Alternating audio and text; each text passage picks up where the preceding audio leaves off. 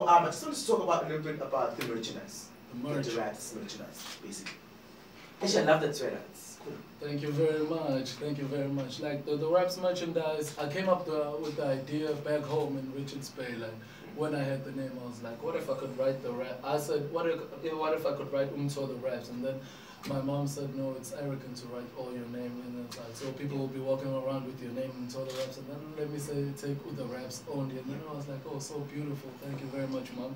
And then uh, I, I? I, used, I used to think about it like back home, and then when I came to Durban, I met UK Black, and then he was wearing these convoy caps, and I was like, well, no, why do you make this? And then he plugged me with this dude, and then this dude said, I, I can bring your idea to life. And then I was like, I told him what I want, what I want with the sweaters, what I want with the shirts, what I want with the caps, what I want with everything. And like, no, I can put you on, bro. Yeah. And then when when he designed it, I was like, so So where can people get like the full merchandise? Because I know I'm really interested in getting it.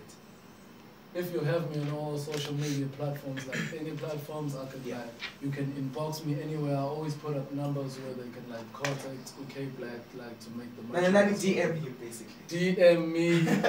I reply. I reply. He does reply. reply. DM him. I reply. Make sure that don't know nude stuff. No, no, never, Let's not be those people. never. So speaking of your upcoming performance, you're performing um, at Umbugani um, clothing launch and Uzuma F Park. Yeah, yeah. So yeah, um, it's gonna start from 11 a.m. in the morning till late. So um, you basically one of the people that are gonna be performing this. Tell us a bit more about that. One of the headliners, like I got a call last week. Uh, I, I was gonna perform at Club Five. I was performing in Club Five Fifty last week, so Yeah.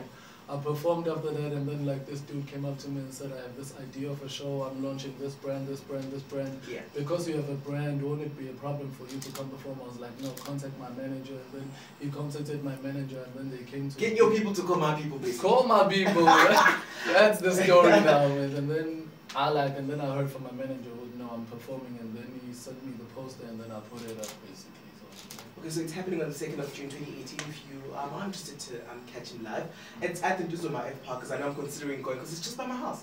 My house, no, no problem. So You can even go on my social media social media pages and check out my performances. You know it's electrifying, baby. I know because there's a lot of videos up here, so Yeah, you can check it out. Um, oh, the merchandise is really, really great.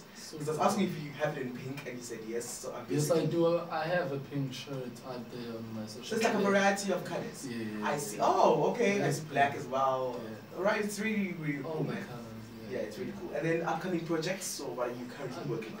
I'm working on an EP basically, like